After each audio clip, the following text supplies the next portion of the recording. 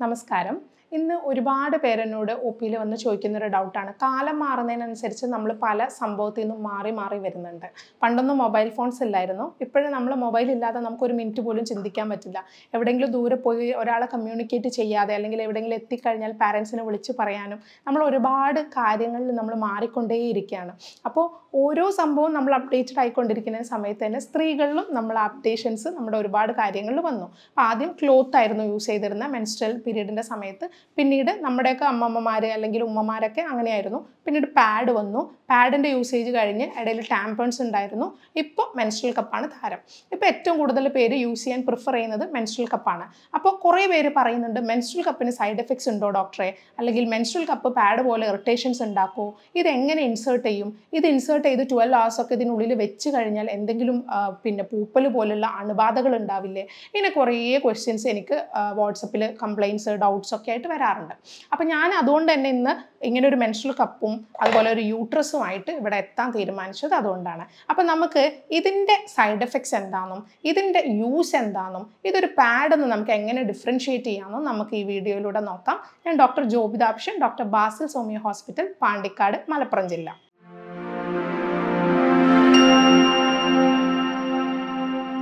എപ്പോഴും ഒ പിയിൽ വരുന്ന സമയത്ത് ഒരു ടീനേജ് പെൺകുട്ടികളൊക്കെ വളരെ പെയിൻഫുൾ മെൻസസ് ആയിട്ട് വരുമ്പോൾ നമുക്കൊരു കഷ്ടമാണ് കാണുന്നത് തന്നെ. കാരണം കുട്ടികൾക്ക് സ്കൂളിൽ പോകാനുണ്ട് കോളേജിൽ പോകാനുണ്ട് പലപ്പോഴും ക്ലാസ് ഒക്കെ ലീവ് ആക്കുകയാണ് ഡോക്ടറെ പോകാൻ പറ്റുന്നില്ല.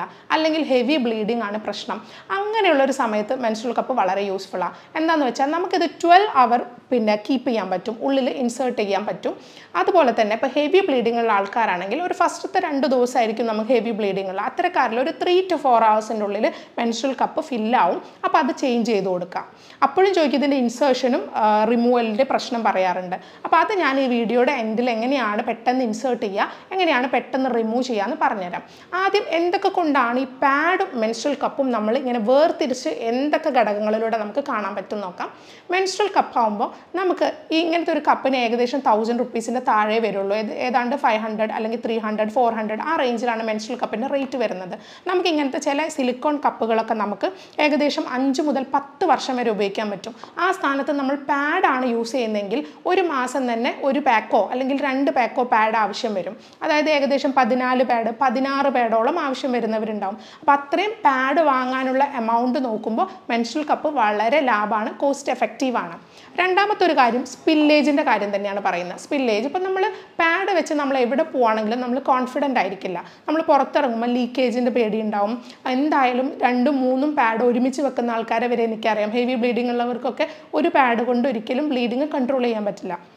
അപ്പോൾ അത്തരക്കാരിൽ നമ്മൾ ഈ മെൻസ്ട്രൽ കപ്പ് യൂസ് ചെയ്യുകയാണെന്നുണ്ടെങ്കിൽ നമുക്ക് എവിടെന്നെങ്കിലും ഇത് ചേഞ്ച് ചെയ്യാനുള്ള ഒരു ഓപ്പർച്യൂണിറ്റി കിട്ടിയാൽ മാത്രം മതി. അപ്പോൾ നിങ്ങൾക്ക് ഒരു സ്പില്ലേജും ഉണ്ടാവില്ല. കാരണം ഇത് യൂട്രസിനകത്തേക്ക് അല്ലെങ്കിൽ പിന്നെ വജീനയുടെ ഉള്ളിലേക്ക് ഇൻസേർട്ട് ആവുന്ന സമയത്ത് ഒരു വാക്വം പ്രഷർ മൂലമാണ് ഇത് അവിടെ നിൽക്കുന്നത്.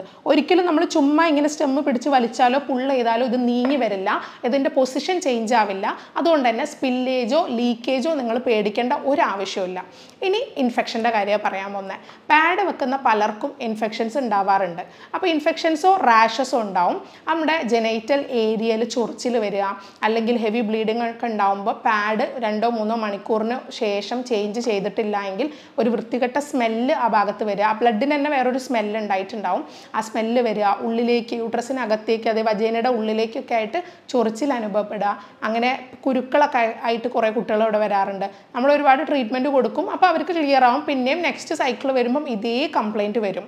അപ്പം നമ്മൾ ആ സമയത്ത് നമ്മൾ ഈ മെൻസ്ട്രൽ കപ്പ് യൂസ് ചെയ്യുകയാണെങ്കിൽ ഒരു ഹൈജീനിക് ഒരു മെൻസ്ട്രൽ പീരീഡ് നമുക്ക് കിട്ടും. മാത്രമല്ല ബ്ലഡ് എല്ലാ ഭാഗത്തും ആവിയൊന്നുമില്ല. അപ്പോൾ വളരെ ഹൈജീനിക് ആയിട്ട് നമുക്ക് നമ്മുടെ പീരീഡ് കംപ്ലീറ്റ് ചെയ്യാൻ പറ്റും. ഇനി ഇത് എങ്ങനെ ഇൻസേർട്ട് ചെയ്യാം? അല്ലെങ്കിൽ എങ്ങനെ റിമൂവ് ചെയ്യാമെന്ന് നമുക്ക് നോക്കാം. ഇതിന്റെ ഇൻസേർഷനും റിമൂവലും പേടിച്ചിട്ടാണ് പലരും ഇത് യൂസ് ചെയ്യാതിരിക്കുന്നത്. അപ്പോൾ ഇത് ഇൻസേർട്ട് ചെയ്യാൻ വളരെ സിമ്പിളാണ് മൂന്ന് മെത്തേഡ്സാണ് ഇത് ഇൻസേർട്ട് ചെയ്യാനുള്ളത്. നിങ്ങൾ കണ്ടോ ഇതിന്റെ മെറ്റീരിയൽ പലതരം മെറ്റീരിയൽ ഉണ്ട്. റബ്ബർ ഉണ്ട് അതുപോലെ സിലിക്കോൺ സിലിക്കണൊക്കെ ഉണ്ട്. റബ്ബറൊക്കെ യൂസ് ചെയ്യുമ്പോൾ ചിലർക്ക് അലർജി വരാം. അപ്പോൾ അത് മെറ്റീരിയലും ആ ആളുടെ ബോഡിയും ഡിപ്പെൻഡ് ചെയ്തിരിക്കും. അപ്പോൾ നമ്മൾ സിലിക്കോൺ ആണ് യൂസ് ചെയ്യുന്നതെങ്കിൽ ഇതൊരു സിലിക്കോൺ മെൻസ്ട്രൽ കപ്പാണ് ഈ മെൻസ്ട്രൽ കപ്പ് ഇൻസേർട്ട് ചെയ്യാൻ വളരെ ഈസിയാണ് ഈ ഇതാണ് നമ്മുടെ യൂട്രസ് ഇപ്പോൾ യൂട്രസിന്റെ ഇത്രയും ഭാഗം വജൈനൽ കനാലാണ് വജൈനയാണ് നമ്മൾ ഈ വജൈനയിലോട്ടാണ് ഈ മെൻസ്ട്രൽ കപ്പ് ഇൻസേർട്ട് ചെയ്യുന്നത്. ഇൻസേർട്ട് ചെയ്യുന്നതിന് മുന്നായിട്ട് നമുക്ക് മൂന്ന് മെത്തേഡ് യൂസ് ചെയ്യാം. ഫസ്റ്റ് വൺ പഞ്ച് ഡൗൺ ആണ്. ഇതിന്റെ ഒരു പോർഷൻ നമ്മൾ ഇൻഡെക്സ് ഫിംഗർ കൊണ്ട് താഴോട്ട് പ്രസ് ചെയ്തതിന് ശേഷം ഇങ്ങനെ പോയിന്റ് ചെയ്ത് വെക്കുക. അപ്പോൾ അതോടെ ഷാർപ്പ് പോയിന്റായി ആ പോയിന്റ് നമുക്ക് നമ്മുടെ ഇൻഡെക്സ് ഫിംഗറും തം ഫിംഗറും ഉപയോഗിച്ച് ഉള്ളിലേക്ക് ഇൻസേർട്ട് ചെയ്തിട്ട് പതിയെ റിലീസ് ചെയ്യുക. റിലീസ് ചെയ്യുമ്പോൾ കണ്ടോ? ഇത് ഓപ്പൺ ആയി. ഇവിടെ പ്രഷറിൽ വാക്വം പ്രഷർ വന്ന് ഇത് ടൈറ്റായിട്ട് ഫിക്സ് ആയി. പിന്നെ അത് നമ്മൾ പുൾ ചെയ്താൽ പുറത്തേക്ക് വരില്ല.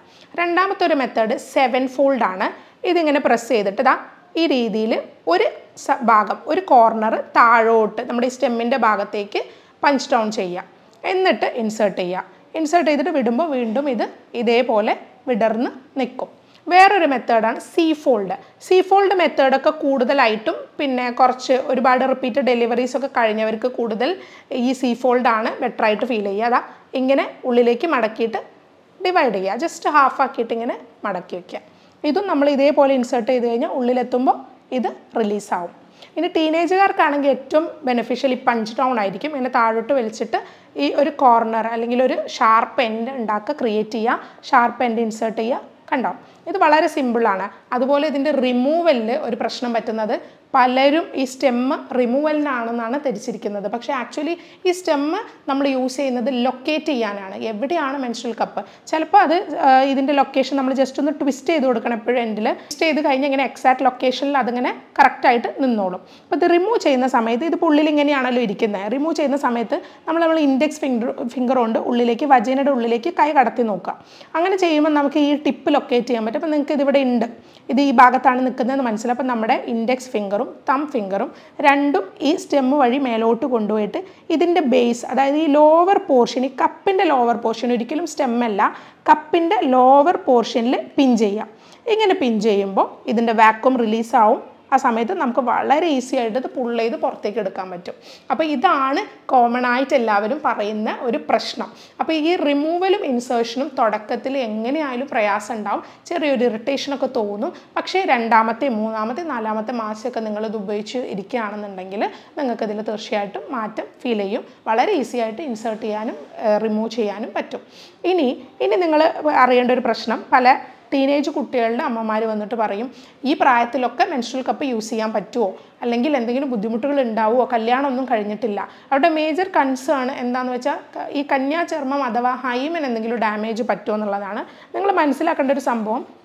ഈ യൂട്രസിൽ ഏകദേശം ഫോർ ടു ഫൈവ് സെന്റിമീറ്റർ വജൈനൽ കനാലാണ് വജൈനൽ കനാലിന്റെ മേലെ ഈ ഭാഗമാണ് സെർവിക്സ് നമ്മുടെ യൂട്രസിനെയും അതുപോലെ വജൈനേനെയും ഇടയിലുള്ള ഭാഗമാണ് സെർവിക്സ് എന്ന് പറയുന്നത്. നമ്മൾ ഒരിക്കലും ഇത് യൂട്രസിനകത്തേക്കല്ല ഇൻസേർട്ട് ചെയ്യുന്നത്. പകരം ഇത് വെജൈനൽ കനാലിന്റെ ഉള്ളിലേക്കാണ് ഇൻസേർട്ട് ചെയ്യുന്നത്.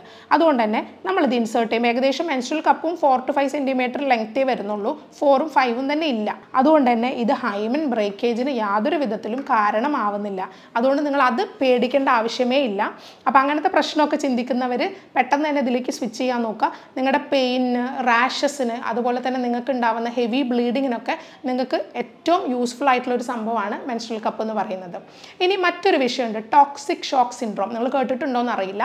ടോക്സിക് ഷോക്ക് സിൻഡ്രോം കാരണമാണ് ടാംപോൺസ് ഒക്കെ നിരോധിച്ചത്.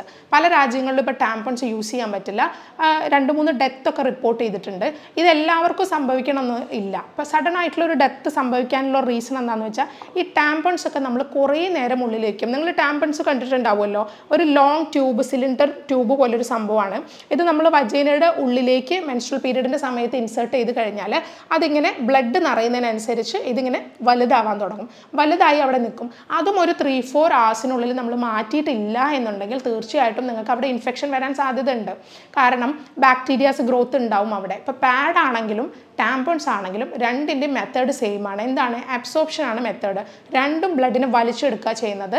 ബട്ട് മെൻഷൽ കപ്പ് ബ്ലഡിനെ ഹോൾഡ് ചെയ്യുകയാണ് ചെയ്യുന്നത്. അപ്പോൾ അങ്ങനെ ഹോൾഡ് ചെയ്ത ബ്ലഡ് നമുക്കിത് നിറഞ്ഞ ഉടനെ അവിടുന്ന് റിലീസ് ചെയ്താൽ വലിയ ബുദ്ധിമുട്ടുണ്ടാവില്ല. ബട്ട് അബ്സോർവ് ആയ ബ്ലഡ് അവിടെ തന്നെ കുറേ നേരം നിന്ന് ബാക്ടീരിയൽ ആക്ഷൻ ഉണ്ടായി കഴിഞ്ഞാൽ പുറമേ ഉണ്ടാവേണ്ട ഇൻഫെക്ഷൻ ഇപ്പം ടോക്സിക് ഷോക്ക് സിൻഡ്രോം ഒക്കെ വരുന്നത് സ്റ്റെഫൈലോക്കോക്കസ് സ്ട്രപ്റ്റോക്കോക്കസ് പോലുള്ള പുറമേയുള്ള സ്കിന്നിലൊക്കെ കാണുന്ന ബാക്ടീരിയ നമ്മുടെ നോസിന്റെ ഭാഗത്ത് വായിലൊക്കെ വളരെ കോമൺ ആയിട്ട് കാണുന്ന ബാക്ടീരിയ ബാക്ടീരിയ അത് നമ്മുടെ ബോഡിയുടെ ഉള്ളിലേക്ക് എത്തുമ്പോഴാണ് ടോക്സിക് ഷോക്ക് സിൻഡ്രോം ഉണ്ടാവുന്നത്. അപ്പോൾ ഇത് ടാമ്പൺസ് അതുകൊണ്ടാണ് നിരോധിച്ചത്. പാഡിലും നമുക്ക് ആ ടോക്സിക് ഷോക്ക് സിൻഡ്രോമിന്റെ കാരണങ്ങളൊന്നും തന്നെ ഇല്ല. പാഡ് പുറമെയാണല്ലോ നമ്മൾ വെക്കുന്നത്. അത് നമുക്ക് കുറേ നേരം യൂസ് ചെയ്യാം. ഫോർ അവേഴ്സ് കഴിഞ്ഞ് ചേഞ്ച് ചെയ്യണം. പാഡ് കംഫർട്ടബിൾ ആയിരിക്കും തീർച്ചയായിട്ടും യൂസ് ചെയ്യാം. ബട്ട് റാഷസ് ഉള്ളവർ ബുദ്ധിമുട്ടുള്ളവർ എപ്പോഴും പാഡ് വാങ്ങാൻ നമുക്ക് ഫിനാൻഷ്യലി ഒരുപാട് പ്രയാസമാണ്. അത്തരക്കാർക്കൊക്കെ മെൻസ്ട്രൽ കപ്പ് യൂസ് ചെയ്യാവുന്നതാണ്. ഇനി ഈ ടോക്സിക് ഷോ ഷോക്ക് സിൻഡ്രോം ഒരിക്കലും മെൻസ്ട്രൽ കപ്പ് വെക്കുന്നതുകൊണ്ട് വരില്ല. But there is a minor chance അല്ലെങ്കിൽ ഒരു point zero zero one percent chance ഉണ്ടോ എന്ന് ചോദിച്ചാൽ യെസ് എന്ന് പറയേണ്ടി വരും. കാരണം നമ്മൾ കുറേ നേരം വെക്കുന്നു. ട്വൽവ് ഹവേഴ്സ് കൂടുതൽ വെക്കാനൊന്നും പാടില്ല. നിങ്ങളിത് ഫില്ലായാൽ ചിലപ്പോൾ ത്രീ ഫോർ ഹവേഴ്സിനുള്ളിൽ ഫില്ലാവാം ചിലർക്ക് സിക്സ് ഹവേഴ്സിനുള്ളിൽ ഫില്ലാവാം അപ്പോൾ നിങ്ങളിത് റിമൂവ് ചെയ്യുക. ബട്ട് ട്വൽവ് ഹവേഴ്സിന്റെ അപ്പുറം നമ്മളിത് ഉള്ളിൽ വെച്ചിട്ട് വെക്കുന്ന പരിപാടി പറ്റില്ല.